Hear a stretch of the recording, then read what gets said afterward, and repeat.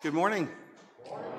And you're all very welcome here to this time of worship here in Derramore, and especially if you're a visitor. And I know that there are at least a few folks I haven't seen for a while here today, uh, who we would have known in our time dur- uh, during our time in Carland. So they are very welcome, along with everybody who's come to worship the Lord today. Just a few announcements before we turn to worship. The men's group are hosting a walking treasure hunt from, I wonder if that's the the, the, treasure hunt walks, or do we walk? I don't know. A walking treasure hunt from Drumachose Church Hall on Saturday, the 18th of June at 7 pm. This is open to everyone, and a barbecue will follow. Names are to be on the sheet in the vestibule by Sunday, the 12th of June. Uh, for catering purposes. Also, just to mention that the men's group are planning a visit to Emerald Lawns, uh, details to follow. If anyone has a request for prayer, please leave details in the box in the vestibule and members of our prayer team will follow up on those requests. Uh, some of you may already know that Drumachose PW are organising a Jubilee afternoon tea on Saturday, the 28th of May. Anne Hazlett, who is organising this event, has informed me that there are still some tickets left at £15 each. Anyone interested in attending should contact Anne as soon as possible. Over the coming weeks and months, I want to encourage more participation within our Sunday times of worship uh, with elders and church members doing the Bible readings. Our clerk Sam read last week, and we have Helen reading today. Going forward, I hope to see more elders and church members doing the readings each Sunday. When I've been informed of who will be reading at the next service, I will then contact the reader with details of the passage. And I think that probably most folk feel pretty nervous whenever they're standing at the front. I know I do. Um, but, you know, it would be lovely to see more and more folk from the fellowship uh, being involved. Uh, and the great thing about reading is that you've got all the words in front of you, you don't have to remember anything. So it'd be great to see more and more folk involved uh, in doing a reading on a Sunday morning as part of our worship. That's all by way of announcement. We have, of course, gathered to worship the Lord, and I just want us uh, to begin uh, by reflecting uh, these, these verses within the Psalms. I've actually lost my place. it's from Psalm 81, the first few verses. This is what the psalmist writes Sing for joy to God our strength. Shout aloud to the God of Jacob. Begin the music. Strike the tambourine. Play the melodious harp and lyre. We have come to worship God today and we want to praise Him with all our being. And during our service, we will be singing songs of praise and we're delighted that Gemma's with us today to provide the music, and I'll be accompanying her, of course, on the drums. But today we're here to praise God, to really worship Him with all our hearts. And we'll do that just in a few moments. But let's just take a moment to pray. Let's pray first. Loving Father, we praise you and thank you for your presence with us today. And Father, we praise you that we have so much to thank you for the gift of life, the gift of family and friends. And what a joy it is to be part of your church family here and, right, part of the family right across the world that you have called to yourself. So, Father, as we have gathered in your name, we pray that we will know your presence. And Lord, we ask that all we do will give glory to Jesus, our Saviour. For it's in his name we pray. Amen. We're going to stand now and sing our opening praise, The Lord's My Shepherd.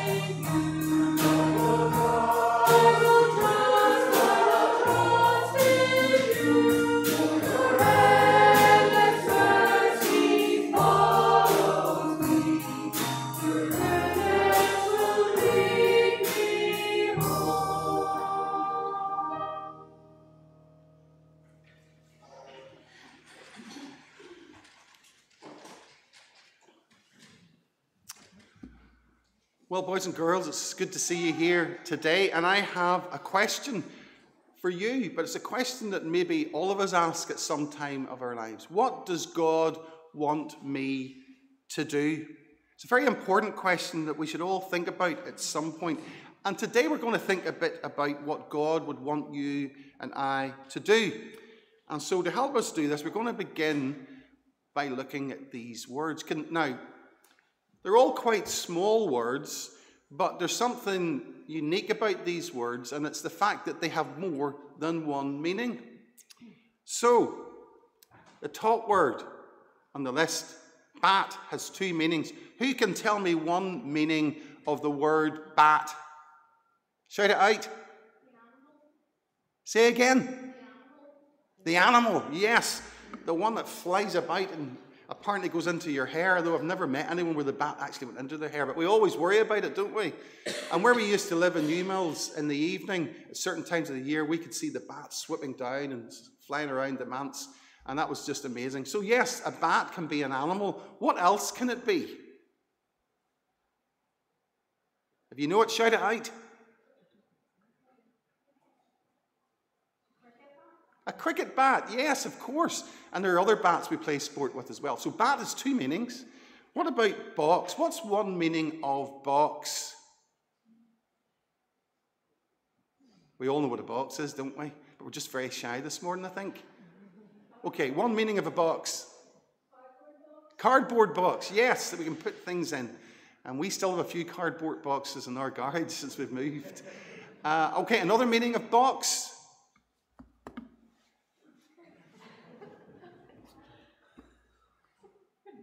Yes, when somebody boxes somebody somebody's ears, but I don't, hopefully, not any of that going on in church today. Okay, on to bank then, another word that has more than one meaning. So, one meaning of bank, shout it out. A what bank? A river bank, yes, excellent. Excellent. Okay, and another meaning. Actually, there's more than two meanings, but if you give me one, that'll, another one, that'll be great. Another meaning for bank. Uh, exactly, yes. Somewhere where we put our money. Okay, two meanings um, for the word dash.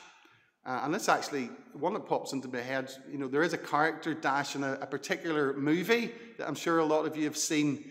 There's a character uh, in the movie The Incredibles, isn't that right? The little guy, and he dashes about, amazing. But let me think. Let me think now for a moment about other meanings of dash. Well, actually, if you think about him, that tells you what one of the meanings is, doesn't it? Somebody who runs about very, very fast. What's another meaning for dash?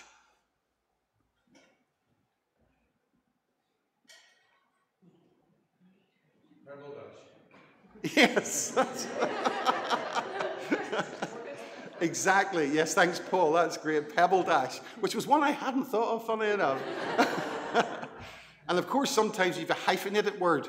Uh, you get a dash, which is a hyphen in between. Although apparently they're going, they're going out. There's not many words where you see a hyphen actually used now. Okay, on to fast, which is a wee bit like dash too. Two, two meanings of fast. Number one,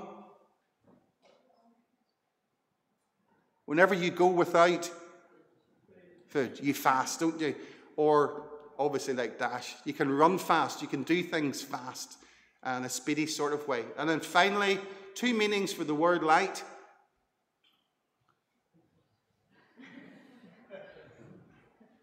Yeah, what's light? Well, if we, if we didn't have light, we wouldn't be able to see each other here now. Sure, we wouldn't whether we the sun wasn't shining or the, the, the, electric lights weren't on. So that's one meaning of light. Now another meaning of light. Say again. Lightweight. Exactly, yes.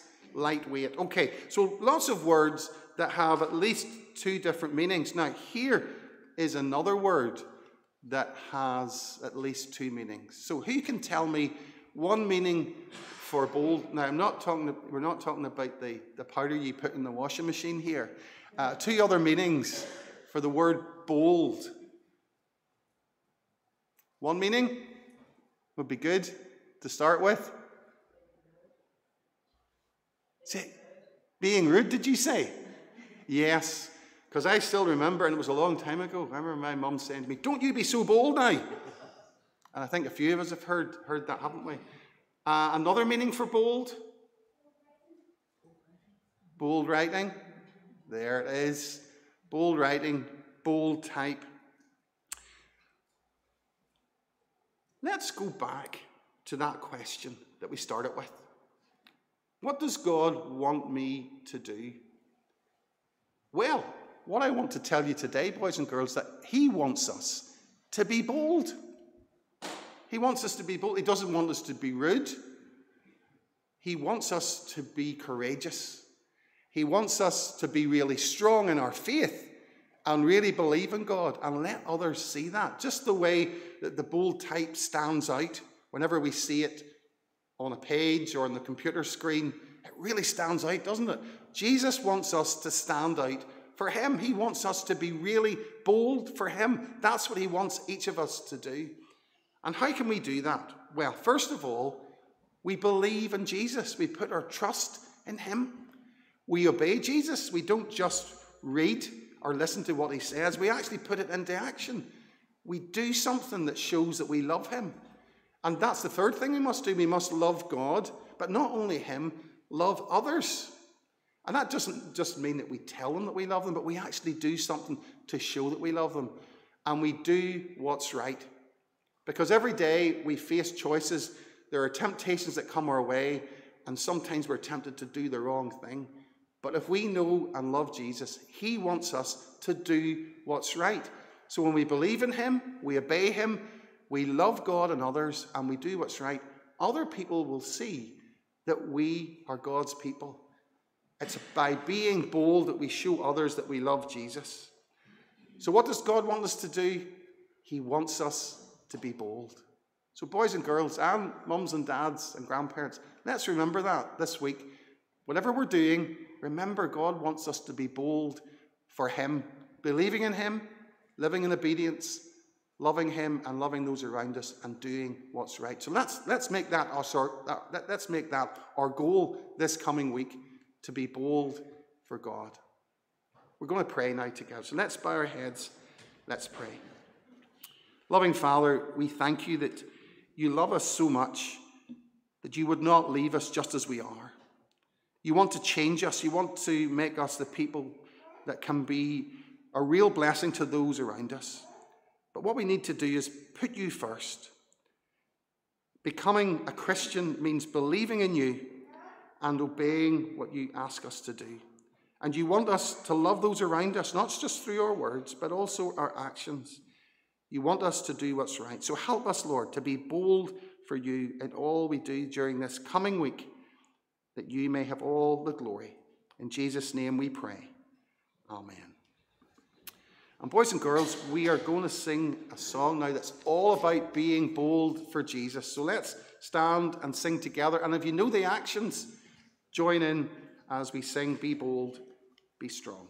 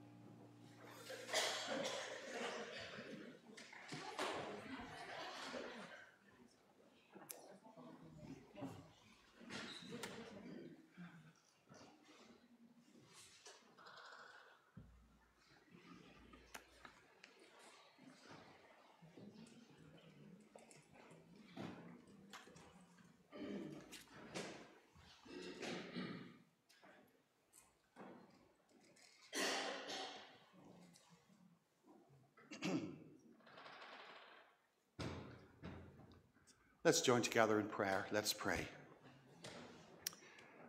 Father God, as we bring before you the needs of others, we remember those known to us who are struggling with health issues at this time. We pray for those receiving medical care, whether in hospital, at an outpatient's clinic, or at home, asking that they would know your healing presence at this time of being laid low. We give you thanks for the care and expertise provided by doctors, consultants, and nurses that can serve to aid the process of healing. We remember those who are being looked after in a residential care home, the nursing staff and carers who tend to their needs, and family members who take the time to visit their loved ones. We remember those within our community who have lost a loved one in recent days. May all who grieve today know your comfort at this time of sorrow. We continue to pray for the situation in Ukraine, giving you thanks for the efforts of aid agencies and churches to provide shelter, food, and clothes to those affected by the ongoing conflict with Russian forces. Lord, may those who are seeking to negotiate a peaceful resolution make progress soon, so that this war may be brought to an end and lives spared. We continue to pray for our own nation with regard to the political situation that continues to cause much frustration for everyone, especially with our health service continuing to be under immense pressure and waiting lists for essential healthcare growing day by day. Lord, we pray that a way will be found for a working assembly to be re established so that the vital work of governing the affairs of our country can be managed in a way that benefits us all. We continue to remember young people who are studying for exams at this time. May they be enabled to cope with the pressures that come with revision, and may they get the right balance between their studies and looking after themselves mentally and physically. Lord, most of all, we pray that they will be enabled to trust you throughout this challenging time and be assured that you have a plan for their lives beyond these exams. As we take time now to meditate upon your word, may we be receptive to all you want to say to us, and may we be ready to respond in faith and humble obedience to the challenges that you present to us today through your word. And all this we ask in our Saviour's name. Amen. I'm going to invite Helen now to come and read for us from Genesis chapter 12.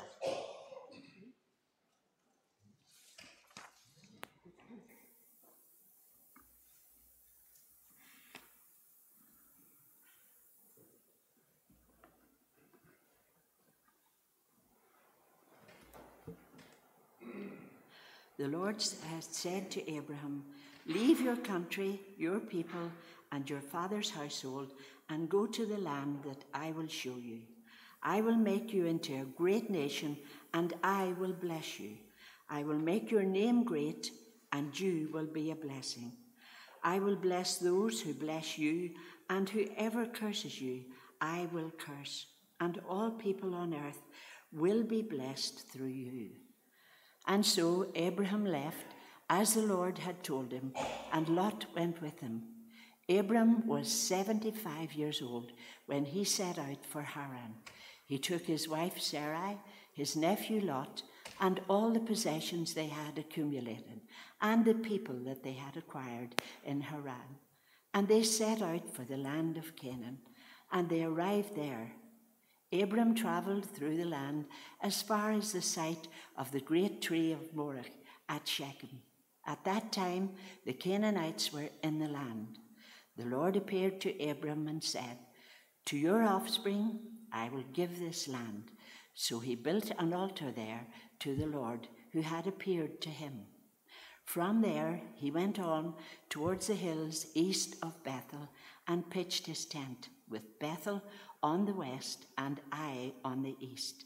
There he built an altar to the Lord and called on the name of the Lord. Then Abram set out and continued towards the Negev.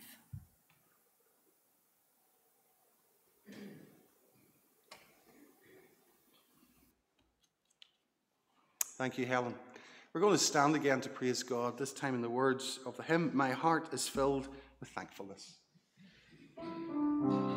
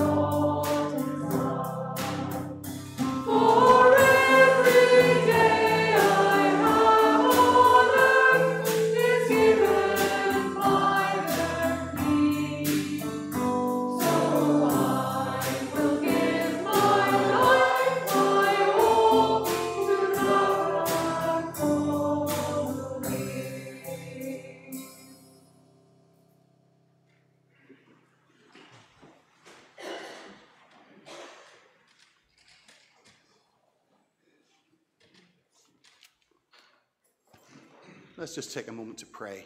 Let's pray. Father, we thank you that you're here with us now by your Spirit to lead us into all truth. Lord, we thank you for your word. We thank you for the opportunity to hear it. Lord, really, maybe really take it in so that we might not just be hearers of the word, but doers of the word. In Jesus' name we pray. Amen. well, today uh, we continue our series uh, looking at some of the prominent people of the Old Testament. And last, last Sunday, as we considered some lessons from the life of Adam, we were reminded that through his failure and disobedience, he experienced the damaging consequences of sin. And this would ultimately mean death for him and his wife Eve. But initially, it meant that they were banished from the paradise that was Eden. But the account of their fall that we find in Genesis chapter 3 is not all doom and gloom. Despite Adam and Eve's sin, God still loved them. He comes looking for them and then he provides them with clothes to hide the nakedness that they've become aware of. But it's as he judges Satan that we see his love for his fallen for fallen man most clearly. In verse 15 he says, I will put enmity between you and the woman, and between your offspring and hers. He will crush your head, and you will strike his heel. It may only be a hint, but it's a hint that's full of encouragement and hope. Because God is pointing to a time in the future when a son of Eve, a man born of a woman, will destroy the evil one. In the words of the Church of England cleric Vaughan Roberts, it is a veiled prophecy of the work of the Lord Jesus. He inflicted defeat on Satan through his death on the cross and will return to complete the job. This is something that the Apostle Paul was very aware of because in his letter to the believers in Rome, he says, The God of peace will soon crush Satan under your feet. And so, although we see sin leading to judgment, we can also see evidence of God's grace. And this pattern is repeated throughout the book of Genesis. After he kills Abel, Cain is driven into exile. But God does not completely abandon him. He places a protective mark on Cain and promises that anyone who kills him will be judged. The genealogy or family tree that we find in chapter 5 highlights the fact that successive generations suffered the punishment of death. but the refrain, and then he died, and then he died, is missing from verse 24. There we read that Enoch walked with God then he was no more because God took him away. Words that offer the hope that even in the middle of a fallen world, it is possible to know God and escape the penalty of death. By the time we come to Genesis 6, God seems to have decided to wipe out every living thing because he's seen how great man's wickedness on the earth has become. And so in verse 7, he says, I will wipe mankind whom I have created from the face of the earth, men and animals, and the creatures that move along the ground, and the birds of the air, for I am grieved I have made them. But, and it's an important but, Noah found favor in the eyes of the Lord. Or to be more accurate, Noah found grace in the eyes of the Lord. Even though Noah is guilty of sin, just like every other person on the planet. God chooses him and his family to be recipients of his grace. And he says to Noah in verse 18, I will establish my covenant with you, and you will enter the ark, you and your sons and your wife and your sons' wives with you. God promises that he will rescue him and his family from the flood. And Noah believes him. He believes him and follows his instruction to the letter and he and his family are able to, able to survive in the ark as the waters rise. When the waters recede, God makes another promise. In chapter 9, verse 11, he says, I establish my covenant with you. Never again will all life be cut off by the waters of a flood. Never again will there be a flood to destroy the earth. Although human sin continues, God is still committed to his creation. He hasn't finished with his world. The flood was an undoing of the created order, but it was followed by a gracious restoration, a new start. This becomes even more apparent whenever you notice the parallel between God's original instructions to Adam in Genesis 1 and his instructions to Noah at the beginning of chapter 9. There we read, Then God blessed Noah and his sons, saying to them, Be fruitful and increase in number and fill the earth. The fear and dread you will fall of all of you will fall upon all the beasts of the earth and all the birds of the air, upon every creature that moves along the ground, and upon all the fish of the sea. They are given into your hands. Everything that lives and moves will be food for you. Just as I gave you the green plants, I now give you everything. And so the great flood and the mercy shown to Noah and his family represent a new beginning.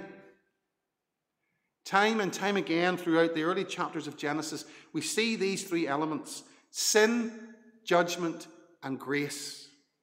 But that, that pattern appears to be broken when we get to chapter 11, where we read of the people building a city with a tower that reaches to the heavens. Sin and judgment are certainly there as the people build the Tower of Babel. And then they're scattered. And there's no sign of God's grace. However, that changes when we get to the following chapter, chapter 12. There we read of an encounter between God and a man called Abram, a descendant of Noah's son Shem. In what amounts to a promise to reverse the effects of his judgment after Babel, God informs Abram of his intention to choose a people for himself and to bless them. Listen again as I read from verse 1. The Lord had said to Abram, Leave your country, your people, and your father's household, and go to the land I will show you. I will make you into a great nation, and I will bless you. I will make your name great, and you will be a blessing. I will bless those who bless you, and whoever curses you, I will curse and all peoples on earth will be blessed through you. Throughout the previous chapters of Genesis, there have been hints of what God will do, but here we have the first clear statement of his intentions. He's now entering into a covenant with a man who will be the father of his chosen people. Abraham means exalted father, and through him and his offspring, the world will be blessed. In other words, the world will experience God's favor or grace. Recognizing the significance of this covenant, the renowned evangelical leader, the late John Stott, said, it, was truly, it may truly be said without exaggeration that not only the rest of the Old Testament, but the whole of the New Testament are an outworking of these promises of God. There was nothing particularly special about Abram. He was a pagan landowner who'd come from Ur, a town in what is now southeastern Iraq. But through an act of his grace, God chose Abram, later renaming him Abraham, and in so doing began the process of establishing a people for himself. There are three aspects to the covenant that God made with Abraham people, land, and blessing.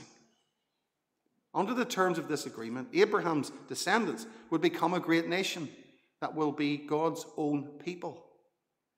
This is underlined later in Genesis 17 when God says to Abraham, I will establish my covenant as an everlasting covenant between me, me, and you and your descendants after you for the generations to come to be your God and the God of your descendants after you. And we see these promises repeated throughout the Old Testament in the form I will be your God, and you will be my people. Regarding the promise of land, Abraham was commanded to leave his homeland and go to another land that God would show him, and this would transpire to be Canaan. In chapter 17, verse 8, God says to Abraham, The whole land of Canaan, where you are now an alien, I will give as an everlasting possession to you and your descendants after you. Abraham's descendants will be blessed, and through them all peoples on earth will be blessed. The curse of the fall would be replaced by the blessing of salvation. Right from the start, God's plan of salvation was universal. It encompassed every nation. Abraham's new name reflects this because Abraham means father of many. As a sign of the covenant that God has established with Abraham, every male Israelite child was to be circumcised. This physical mark signifying the special relationship that God has established with his people. It must have been hard for Abraham to believe that all this would happen. But he did. We're told in Genesis 15, verse 6 Abraham believed the Lord, and it was credited to him as righteousness.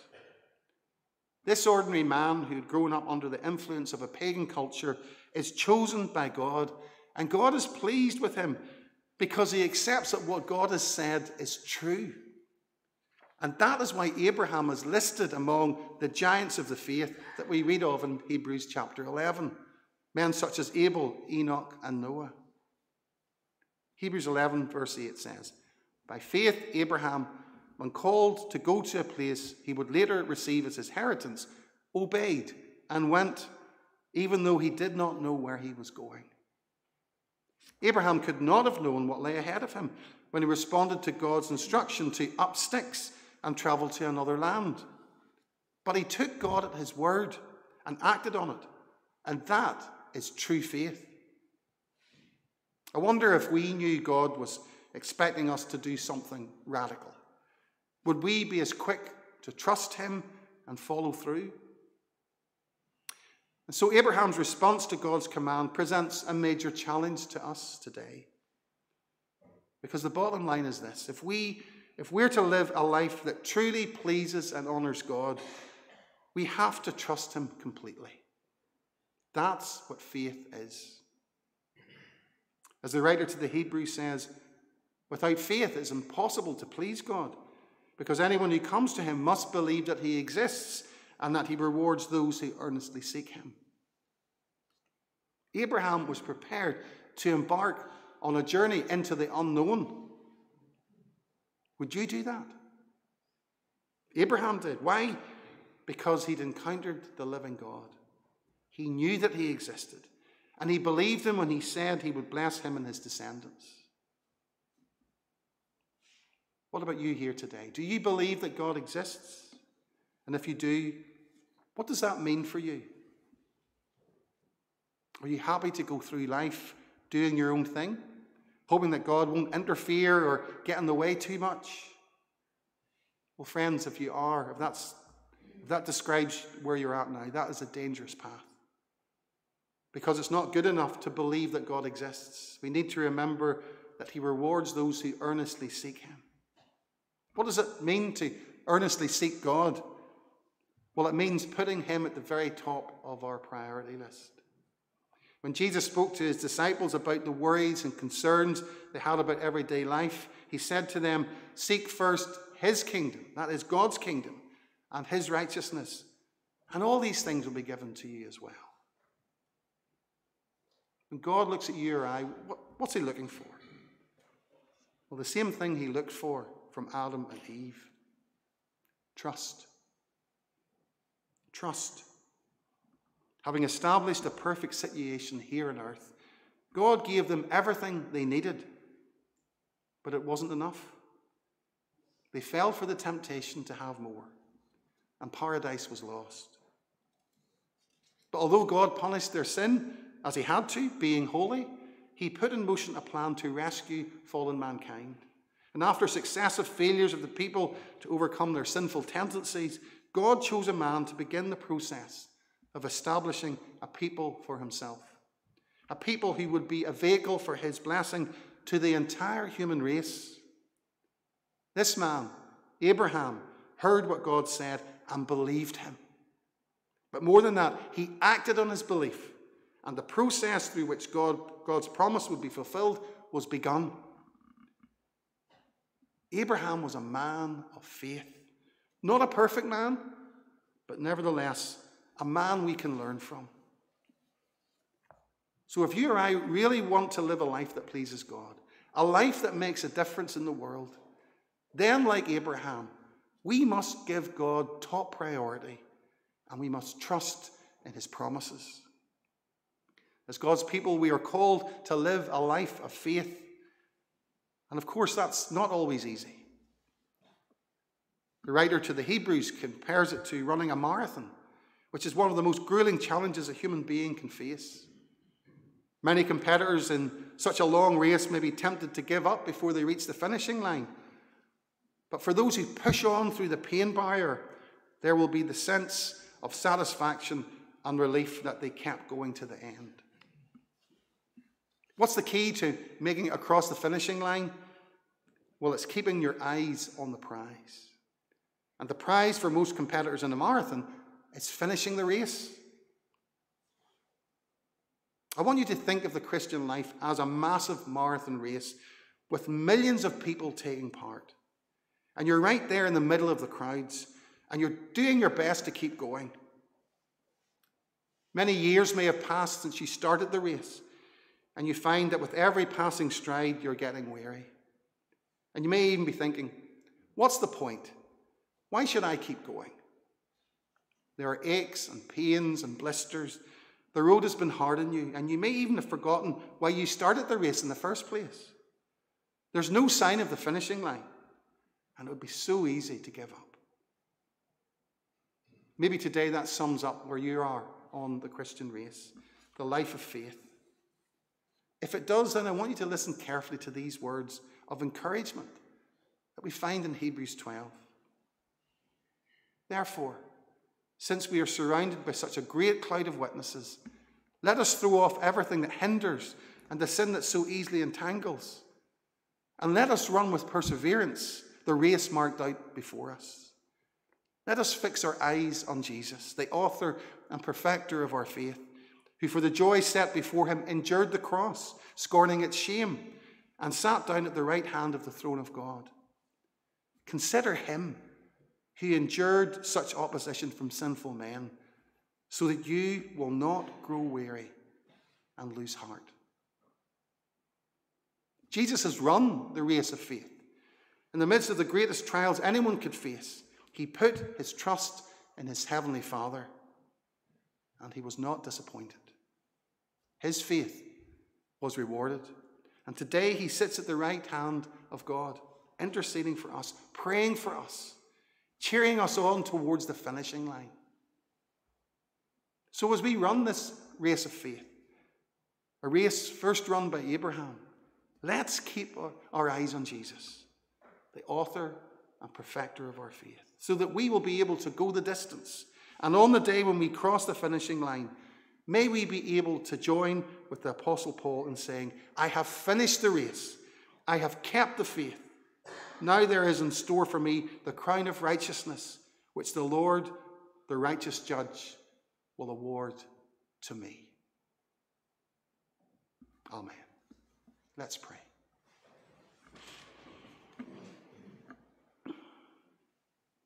Loving God, we praise you again for your word to us today. And thank you for the example of Abraham, that man of faith. Far from perfect, but when it mattered, Lord, he trusted in you, and you led him forward to the place that you wanted him to go. And there were many lessons that he had to learn along that journey. Times when he doubted you, times when he tried to jump ahead and make things happen for himself.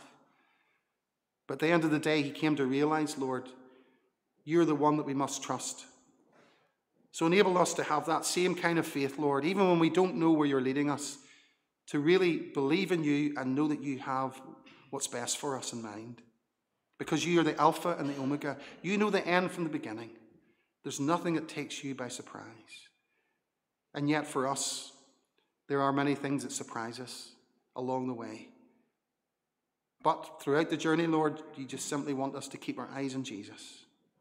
So may we do that, whether we're at the beginning of the race or we've traveled quite a distance and perhaps we're feeling a bit weary. Lord, enable us to keep looking to you, that we might have that grace and that strength to keep running, that we may make it across the finishing line and receive that welcome that awaits us in that heavenly place you're preparing. Lord, thank you and praise you for all that you mean to us and for all that you've promised to do in and through us. May we seek to give you glory in how we live and how we witness to others of our faith in you through our words and actions. May you be glorified. In Jesus' name we pray. Amen. Well, today we've been reminded of God's grace, and we're going to sing about that grace now as we stand to sing our closing praise. Lord, I come before your throne of grace, and in the chorus we join together in singing, What a faithful God.